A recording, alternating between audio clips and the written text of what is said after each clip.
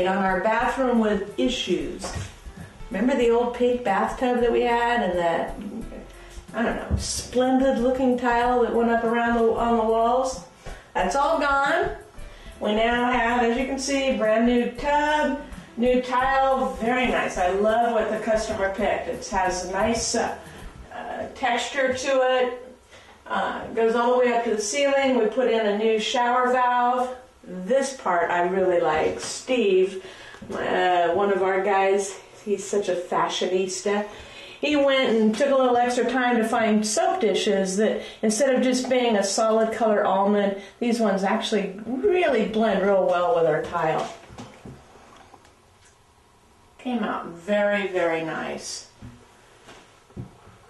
Very nice.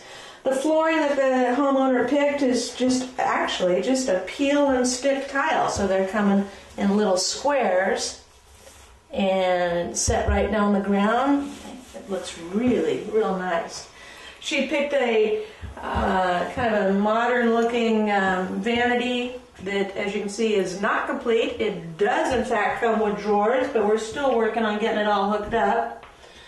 One of our issue, uh, problems with this was that this vanity is one that has just a, a, single hole here for the faucet instead of usually has uh, two or more. So homeowner had to go and get another another vanity faucet, and I think this one's going to work just fine.